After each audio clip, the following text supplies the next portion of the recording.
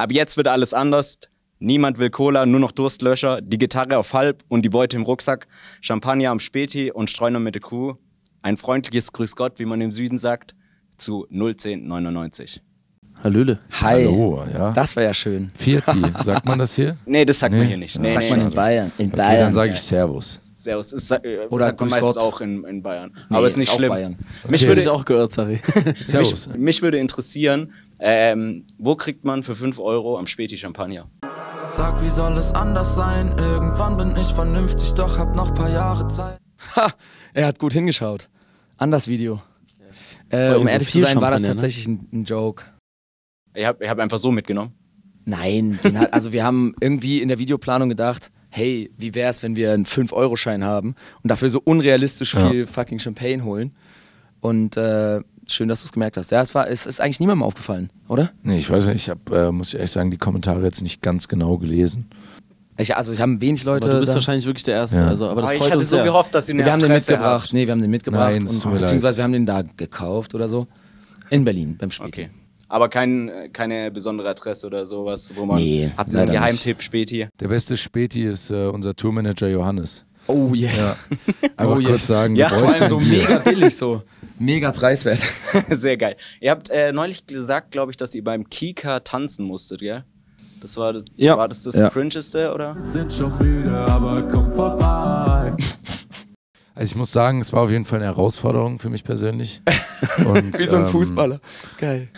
Ja, äh, was soll man sagen, woran hat es gelegen? Woran hat's nicht. gelegen? Woran hat sie liegen? Aber man fragt man sich immer, woran hat's gelegen? Woran hat's gelegen? Ja, wir Welche- mussten tanzen. Okay, welche Dance-Moves habt ihr rausgeholt? ähm, Paul und Zari haben Ausdruckstanz gemacht. Ja. Zari hat tatsächlich viel Ballett aber eingebaut. Zari kann ja krass tanzen, deswegen war das eigentlich gar nicht so unangenehm. Das war eigentlich super, sehr, sehr ja, schön. aber muss es ist immer so, ohne Zusammenhang zu dancen, ähm, Ja, ist so immer ein das bisschen ist so schwierig. cringe. Hey, steh mal auf und tanz. Mach mal ein paar Tanzmoves.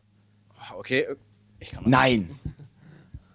Okay. Ist okay? Ja. Ja, war Äh, jetzt ein bisschen, war, war, ein bisschen wackelig. Ich wollte euch nach, eigentlich nach dem Allround-Dance-Move fragen, dass ihr Nee. den einmal vormacht, aber hey, das schenke ich euch. Also wir haben verschiedene Dance-Moves. Zari hat einen Cardio-Dance. Ja, stimmt. machst soll du ich den oft? Kurz, ich mache ihn kurz vor, okay? Der geht dann so. Und das aber halt über dreieinhalb Minuten Song.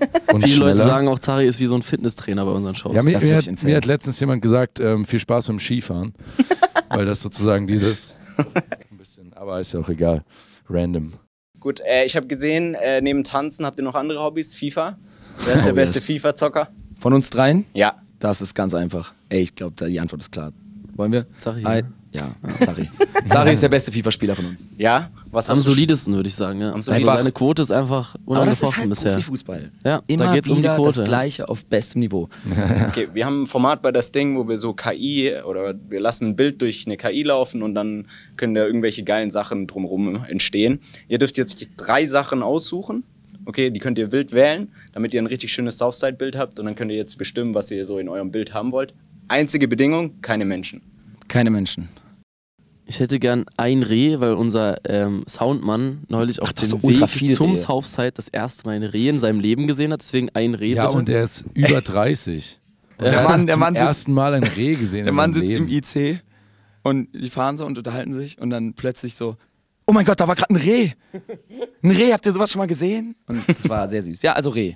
Ihr ich hätte zwei? gerne ein riesiges Rad Parmesan und an dem Parmesan wachsen Pilze und diese Pilze werden gefressen von einer Giraffe. Ich hätte gerne einen Kletterfelsen und an diesem Kletterfelsen, weil Affen sind einfach die besten Kletterer. Absolut. Da gibt es äh, krasse Videos. Ich finde es sehr beeindruckend. Deswegen, und an dem Felsen ein Affe, der von A nach B springt und zeigt, was er drauf hat. Oh yes. Was wäre das für ein Bild, Leute? Das will ich echt gerne sehen.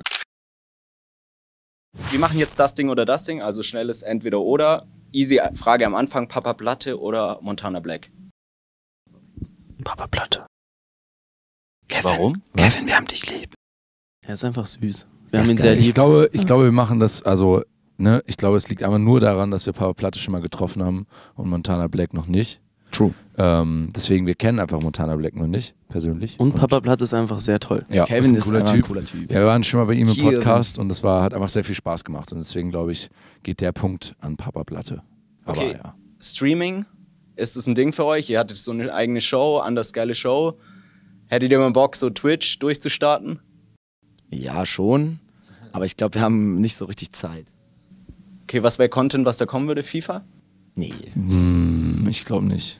Was, Also ich denke so, wir würden Wieder dann so so, ein neues ne? Format erfinden, das nennen wir dann so Sieben gegen die Wildnis. Und dann machen wir so im Prinzip so eine Art Survival-Show. Und dann nehmen wir so Musiker, Bekannte. Hey, das sollten wir wirklich mal machen. Ja, Sieben gegen Hey, die das Wildnis echt das neue, ja, das ist eigentlich eine gute Idee. Und dann haben wir schon Zusagen Idee, von ja. äh, Rin, von Sobani, äh, Chiago ist natürlich dabei und dann im Tech-Team. Geil. Genau. Okay. Das ist so Und Innovation. äh, wenn, wenn so was Neues. ja, genau. Äh, lieber Spikeball-Weltmeister werden oder das erstgeborene Giago nennen. Spikeball-Weltmeister werden. Auf ja, jeden ja, Fall. eindeutig. Aber nicht, weil das nicht schön wäre mit dem gerissen. aber einfach, wir lieben Spikeball seit Aber neuestem. stell dir vor, dann wächst er auf und hat die ganze Zeit eine Skibrille auf. Nee, ich bin auch bei Spikeball-Weltmeister. Das wäre schon insane. Wir würden dann mit einem Auswechsler antreten und ich schwöre euch, wir machen jedes andere Musikertrio platt. Ja, bin ich ehrlich. Okay, wer ist der beste Spikeball-Spieler? Drei, zwei, eins, Zari. Boah, bin ich mir tatsächlich echt nicht sicher. Ja, nein, Harry, du weißt selber, dass du Doch, doch, das ist schon insane. Zari hat Zari, schon einfach, einfach so ein bisschen, gut. Ja, bisschen so. einen Vorteil. Einfach so, weil er noch ein Stück besser ist. Der kann einfach wirklich Ich Spielzüge. glaube, mein einziger Vorteil ist, dass ich früher mehr Volleyball gespielt habe als ihr. Ja. Und das ist, glaube ich, so ein bisschen vom Ballgefühl ein Vorteil. Aber ich denke, nach der Festivalsaison wird es sehr spannend immer. Das Ding ist, du machst aber so einen unfassbar souveränen Eindruck immer. Ja, Das ist das, das Ding. wirkt alles Vielleicht gewollt, ist so. Zari auch gar nicht Ups, so gut, aber Versehen, es wirkt aber- einfach wirklich so, als wäre alles geplant, es wäre einfach extrem gut vorbereitet. Das ist wirklich krass. Müsst ihr mal sehen eigentlich, ja. Okay, und Erstgeborene, könnt ihr euch vorstellen, Chiago zu nennen? Auf keinen Fall. Also ich bin selbst raus. Erstgeborener und ich, ähm, ich würde ihn, glaube ich, Paul nennen. Von Zivilpolizisten hops genommen werden oder mit Olaf Scholz auf Tour gehen? Digga, da würde ich lieber mit Olle auf, Schul- auf Tour gehen. Oder? Also ich finde es. Aber inwiefern auf Tour gehen? Ja, der ist halt dabei. Vielleicht so Backup-Rapper oder so. Jo, okay, okay. Ey, Real okay. Talk würde ich machen. Okay, ganz kurz, dann hätte ich lieber Olaf Scholz mit als backup Ey, schon, oder? Der ist, macht so hinten die Adlibs und macht so, ah, well. Aha, DJ Grundgesetz. Wo sind meine Millionen hin? Wurde dir von der Polizei schon mal hops genommen? ich wurde schon mal Paula hat da eine richtig schöne Geschichte. Willst du die nicht mal Ja. teilen mit uns hier? Ich habe mal an einer, mit einer bekannten Band zusammen eine Show gespielt in Dresden beim Campus Festival. Und dann haben wir da uns ähm, flüssig ernährt an dem Tag. Und auf dem Rückweg bin ich Leimroller gefahren. In der Annahme, dass äh, E-Scooter gleich Fahrrad, also 1,6 Promille. Dann äh, hatte ich meinen Bruder dabei, der nicht so viel verträgt. Der war sehr laut, sehr auffällig. Und dann äh, wurden wir angehalten und natürlich wurde ich angehalten. Und äh, long story short, ich musste mit aufs Revier fahren und musste inklusive zwei Punkte in Flensburg 500 Euro Strafe zahlen. Und das war sehr wack. Aber merkt euch, 0,0 Promille auf dem E-Scooter. Sehr gut. Ich spiele euch ein Genre vor oder ich sag, nee, erst ich sag euch das Genre und ihr müsst raten, real oder fake. Der ist erst, die erste, das erste Musikgenre ist Schranz. Geht's? Ja. Geht's, ich kenne ihn sogar persönlich. Schranz 1, 2, Ja. 3. Produzent aus Dresden. Da muss ich es dann noch vorspielen? Nee. nee, Schranz ist wirklich sehr gut. Ja. Okay, komm, wir spielen es einmal vor.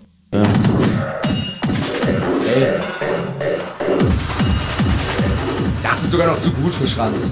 Ich würde sagen, Schranz ist noch dümmer. Okay, nächstes. Äh, Gurkenreggae. Fake. Fake. Klingt dumm. Ja, ist richtig. Gurkenreggae. Boah, das war Ja, das, was. sein. Ja, die spielen doch mit der Gurke. was gibt's? Okay, Disco Polo. Disco Polo. Ich kenne nur Disco Pogo. Den Song, aber vielleicht hängt das irgendwie zusammen. Aber ich was glaube trotzdem, Polo? Polo ist Sport. Polo Ja, ist doch Sport. Polo ist eine. Sportart. Am Ende machst du Disco und spielst dabei Polo. Aber das ist doch kein Aber ist ja kein Genre, ne? Doch, doch, das wäre schon Vielleicht eigentlich ist das so eine aber renaissance Ich glaube, Polo ist ein zu elitäres Spiel, als dass dann da Disco läuft. Also nein, oder? Nein. Nein. Ja,